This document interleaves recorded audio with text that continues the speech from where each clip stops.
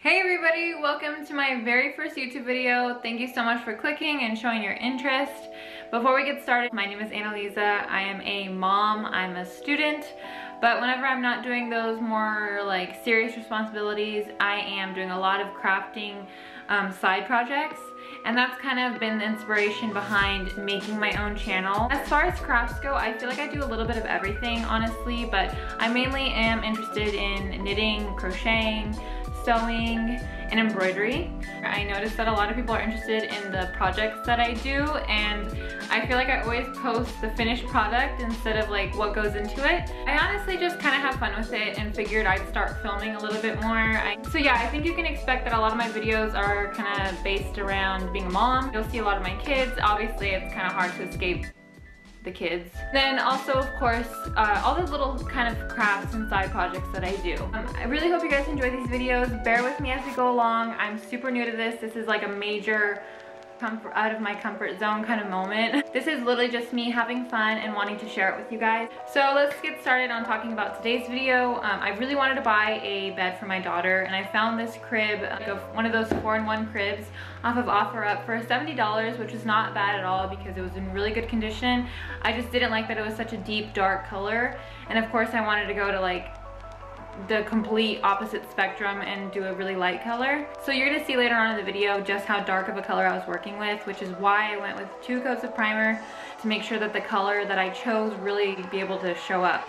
So I'm just gonna kind of leave it at that and um, I'll let the video take over and you guys can see the whole process of everything that I did.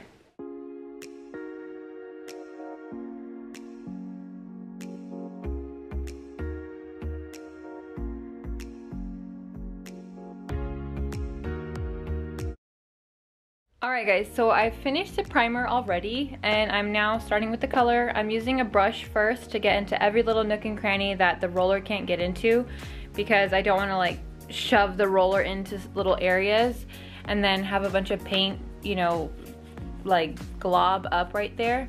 So I'm using the brush first. I'm going super light because I don't really want brush strokes in the finished, you know, product. And then I'm going to go over it with the roller.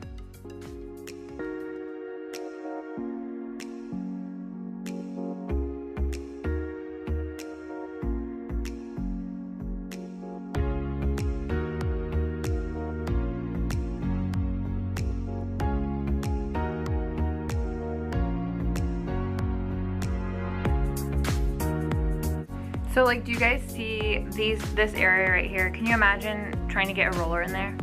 So that's why I'm using the brush.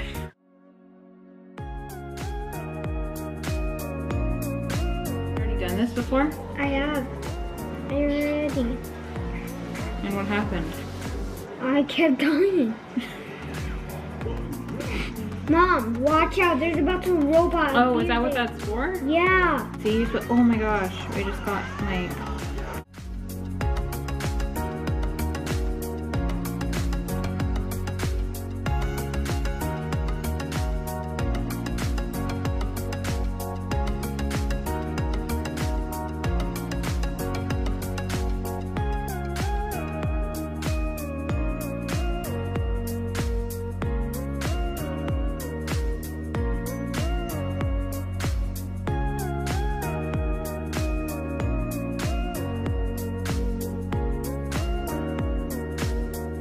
Alright you guys, so I finally finished painting the crib and then I went ahead and painted a bookshelf of hers that I found at like a thrift store kind of place for I think it was like $13.